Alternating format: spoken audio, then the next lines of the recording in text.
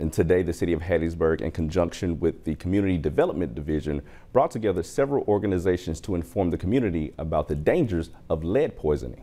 The Mississippi Department of Environmental Quality, State Health Department, Home Depot, and the EPA all gathered at the train depot to inform people on how to be lead safe.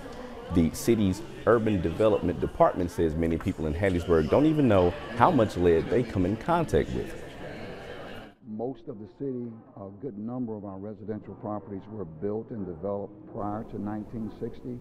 So any house that was built in that era could have lead safe hazards in it. People are not aware that lead paint is not the only source of lead poisoning. Hunting and shoot and fishing can also contribute to lead poisoning. All health departments in Mississippi offer free lead poisoning testing for free for children ages 6 and under. The Department of Urban Development Division can also test homes for any lead hazards. And today